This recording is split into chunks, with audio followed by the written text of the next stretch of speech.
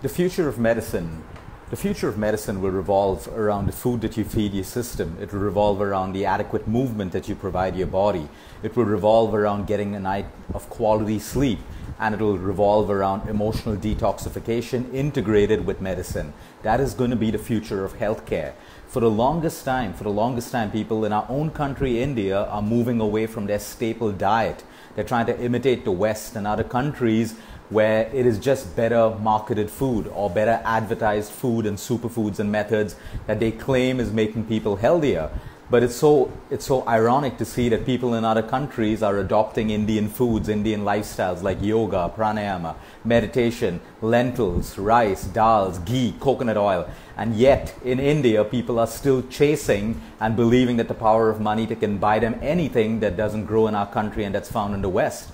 It's surprising how I visit Mexican hospitals and the staple food being served are rice, lentils, beans, ghee, coconut oil, spices like turmeric, black pepper. And over here, we're chasing pastas and molecular gastronomy and all this nitrogen based food and fancy foods. And you'll never find people clicking selfies with just good old Indian food, but it'll be all with some ice cream ball opening up and some white smoke coming out of it, and people are excited thinking that they're having healthy food all the time. This needs to change because the future of healthcare will revolve around using food as medicine, lifestyle as the drug that will heal and prevent disease going forward.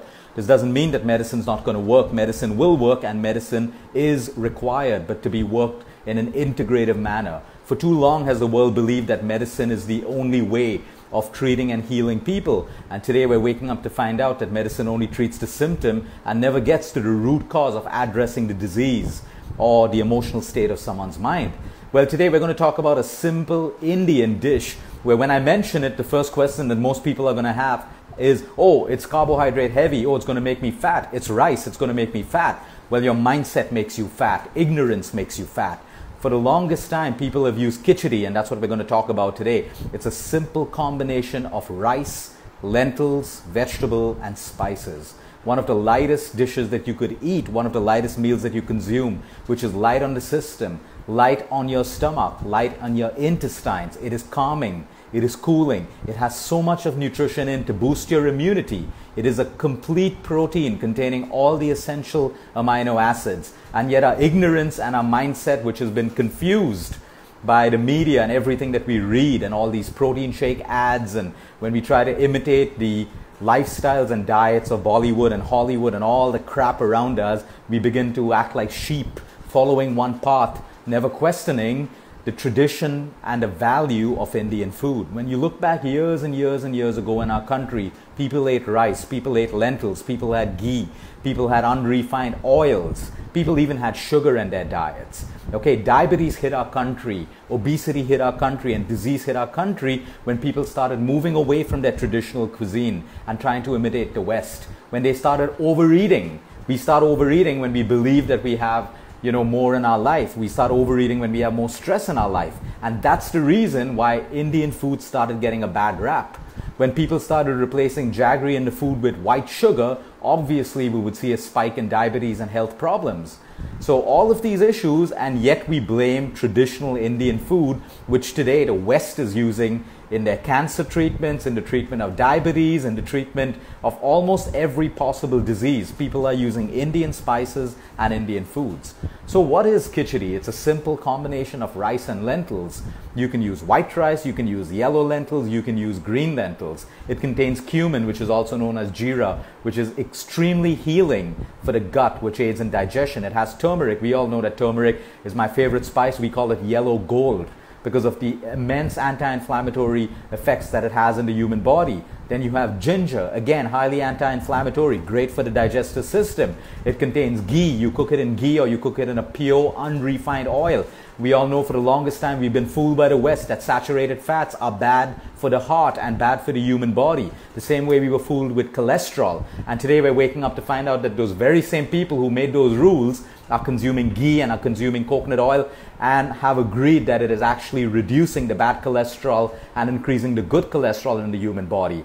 And all that scam to just move olive oil into the Indian market and make us believe that the Mediterranean diet is the healthiest diet for Indian people When will we wake up and use common sense that the Mediterranean diet and olive oil is good for people living in the Mediterranean region that have different genes and different environments and different geographies? In India, what suits the Indian gene and health is Indian food and traditional Indian oils, of course, which are not refined and which are unrefined.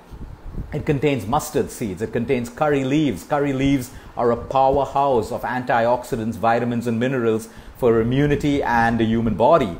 It contains pink salt. Originally, people used rock salt. Today, we still use iodized salt in the belief that we will have thyroid problems if we don't. How we've been fooled. It's remarkable. But right now, we have information, we have awareness. All we need to do is start using our common sense, take our health into our own hands, and start making these little lifestyle changes. Then khichdi has tomatoes, onions, green peas. It's got hing, which is a great digestive element in the human body.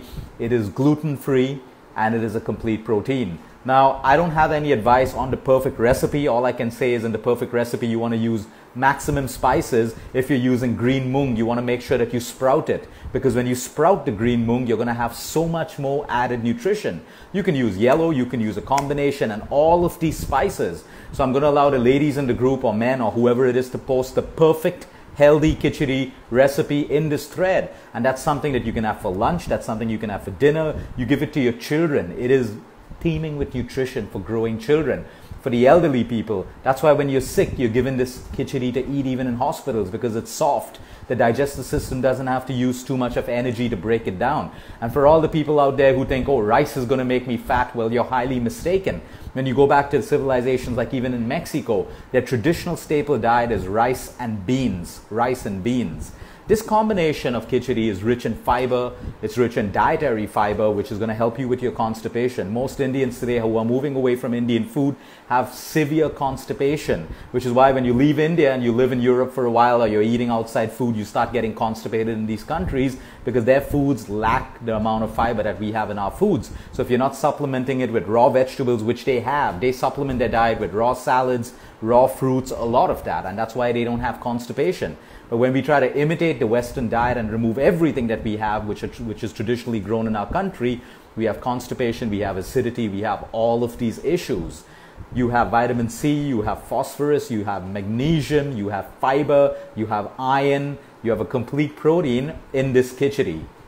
And yes, you can have it at night as you can have it at dinner time as well. All you got to do is control the portion. Today, most people struggle with weight problems because they overeat or they undereat. When they undereat, they cripple their metabolic activity and the body goes into stress and famine mode and stores fat. When you overeat, whatever it is, you overeat even a salad or superfoods, your body will only utilize what it needs for energy. What it doesn't need, it will store as energy, it will store as fat in the human body. So we shouldn't st- we, sh- we should stop being scared about these foods which are rich in nutrition, so rich in nutrition and protein, and we dump everything else.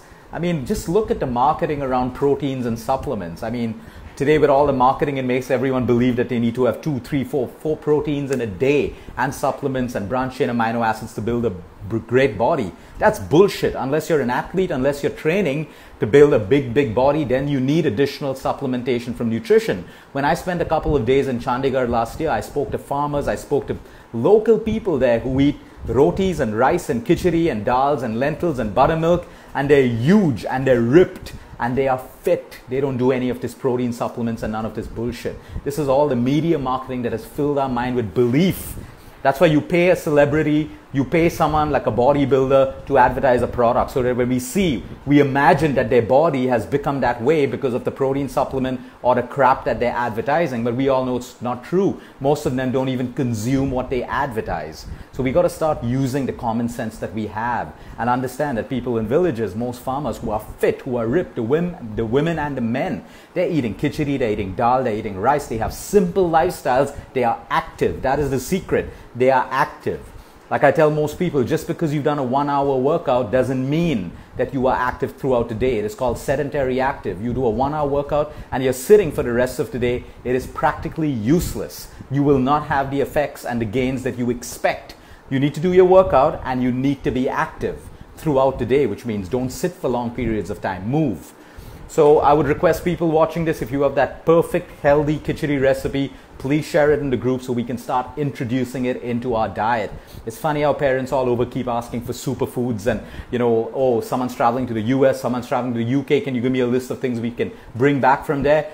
understand people that people are coming to our country from the west and taking away the goodness to their country and we're going to their country bringing back all these fancy packaged advertised superfoods common sense use what is growing in your own country you have fruits you have nuts you have seeds you have lentils you have spices everything that you need to feed your child to grow them healthy grow them strong and to grow you healthy and grow you strong we have it all growing in our country. Add the khichdi to your diet. It's extremely cooling for this weather. You can accompany it with a raita or yogurt or curd the traditional way. If you're in South India, you can have sambar, which is also extremely healthy. The amount of spices used in the turmeric makes sambar literally like a medicine literally like a healthy medicine that will boost your immunity, reduce inflammation, and keep it light in your system, which is cooling and calm. Remember, it's all about your digestive system. It is not about how much weight you lift, how good your food is that you eat. It's about digestion. If your digestive system cannot break down, assimilate, and absorb what you eat,